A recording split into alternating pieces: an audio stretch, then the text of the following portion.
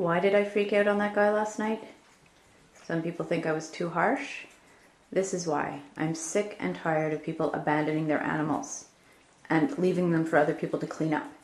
All these guys here, all abandoned.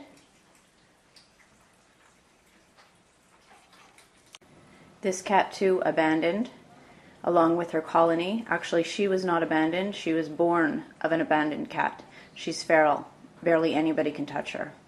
These are the types of cats that go to the Berger Blanc, that get gathered up, rounded up, trapped, and brought to the Berger Blanc. So if I ranted at that idiot last night, he's lucky that's all I did. I have no regrets, except for swearing a lot. This is Jin, and that's Stu. These cats are semi feral. They're born of a feral cat, and we can touch them a bit.